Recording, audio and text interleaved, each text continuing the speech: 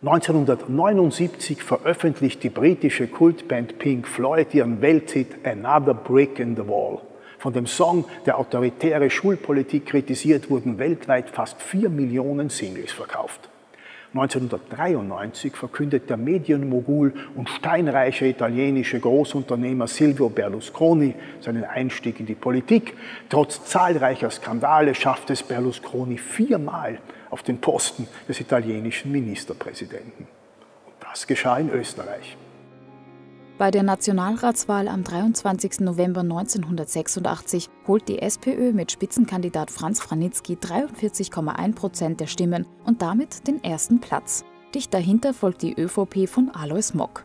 Während die beiden Großparteien kleinere Verluste verzeichnen, gelingt es der FPÖ, die erstmals mit Jörg Haider antritt, die Stimmen auf rund 9 Prozent zu verdoppeln.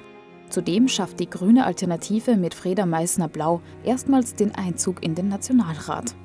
Der erste Wahlsieg Franitzkis fällt in eine Zeit großer politischer Instabilität. Nur wenige Monate zuvor, im Juni 1986, war Kurt Waldheim trotz seiner nationalsozialistischen Vergangenheit zum Bundespräsidenten gewählt worden. Der damals amtierende Kanzler Fred Sinowatz von der SPÖ trat daraufhin zurück und empfahl Franitzky als seinen Nachfolger. Die Koalition mit der FPÖ wurde zunächst fortgesetzt. Mitte September 1986 kommt es allerdings zum Wechsel an der blauen Parteispitze.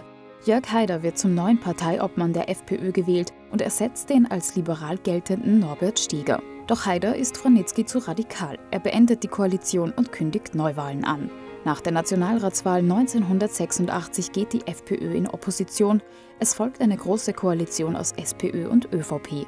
Franitzky muss als Kanzler viele Aufgaben übernehmen, die eigentlich dem Bundespräsidenten obliegen. Denn Waldheim wird international weitgehend geächtet.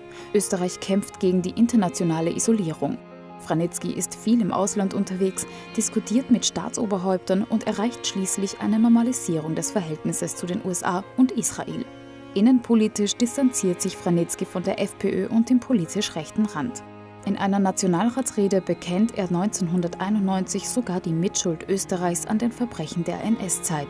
Nach dem Zusammenbruch der Sowjetunion intensiviert der SPÖ-Kanzler die Beziehungen zu den osteuropäischen Staaten. Darüber hinaus setzt sich Franitzky zusammen mit Alois Mock vehement für einen Beitritt Österreichs zur Europäischen Union ein.